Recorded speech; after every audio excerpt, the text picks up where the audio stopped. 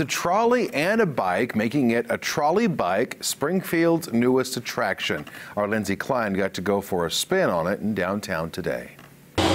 It's finally here in person. The trolley bike. It literally showed up on Monday. Downtown Springfield's newest attraction. They call it a quadricycle because it's a four-wheeled bike. It's kind of like a party bus or a limo, but way more awesome. Your feet do the tumbling to make the wheels turn. And then we'll just go around downtown, wave, dance. There's a stereo that we got going. It's just a good time. The trolley bike seats 14 people, and the whole concept behind it is to have everyone on board pedaling. However, there is a motor that makes the pedaling a lot easier. If somebody either, you know, doesn't want to pedal or whatever, they don't have to, but it's a lot more fun when you pedal.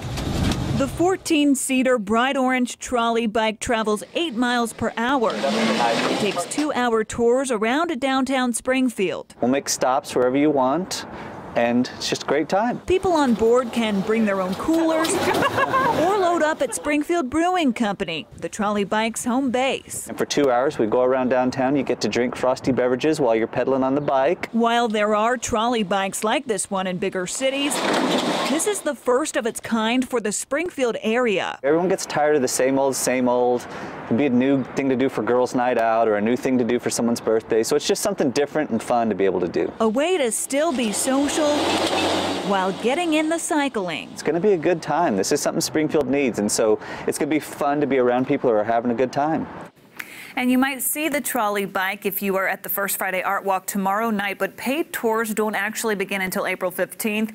It is 300 bucks to rent the entire bike during a weekday and $350 on the weekend, or you can buy just one seat on a public tour for 35 bucks. For more information on the trolley bike, including a link to its website, head on over to this story on our website at ozarksfirst.com.